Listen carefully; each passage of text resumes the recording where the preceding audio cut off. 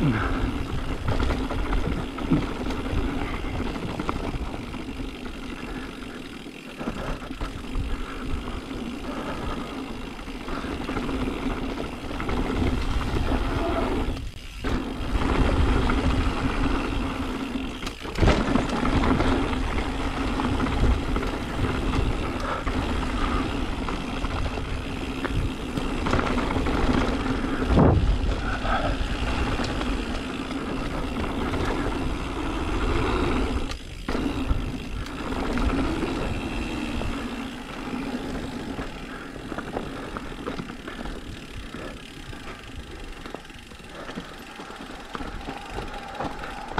Oh fuck, cow.